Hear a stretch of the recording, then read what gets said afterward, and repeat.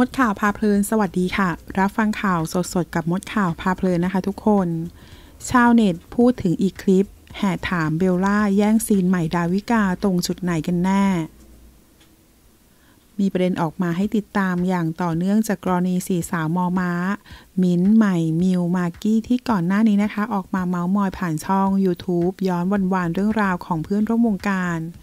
ประเด็นคำถามเจ้าปัญหาเริ่มที่ใหม่เอง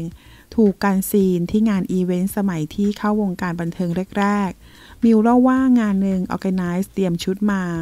ให้หน้างานใส่หน้างานเลย เราเองก็ใหม่มาก ไม่ต้อง fitting อะไรก็ได้ได้หมด แต่งตัวเสร็จพอลงไปหลังเวทีอีกคนเขาหายไป แต่ว่างานต้องเริ่มแล้วซึ่งมิ้นเองบอกว่าฉันจำได้แล้ว ตอนฉันเดินอยู่มีคนตะโกนบอกว่าเดินช้าๆมิวบอกว่าเพราะว่ามีคนหายไป แล้วก็ปรากฏตัวอีกทีตอนอยู่บนเวทีทุกคน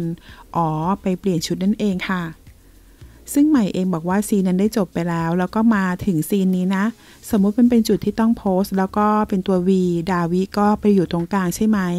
ดาวิก็เดินไปปลายรันเวย์พอม้วนตัวกลับเข้ามา อ้าว ที่เรามาโพสต์ที่ของเราทำไม ด้วยความที่ไม่รู้จะทำยังไงดี